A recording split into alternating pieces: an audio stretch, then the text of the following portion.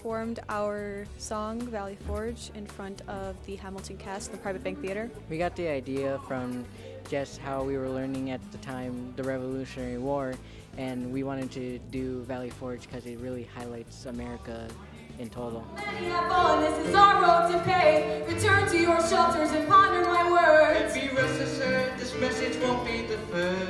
It definitely helped me widen my understanding of history. It was always just like not narrow per se, but it was very limited. And seeing all these things that Hamilton wrote when doing your research, it's quite awe-inspiring, honestly.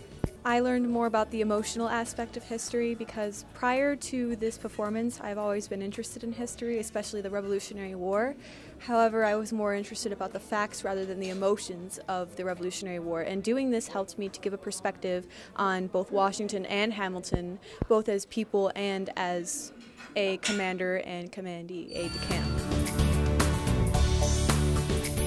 It felt very nerve-wracking and exhilarating to be able to have such control over an audience and to tell the story of two very important founding fathers of American history.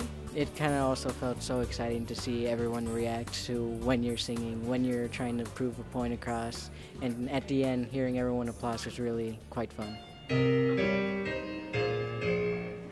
Let them come in.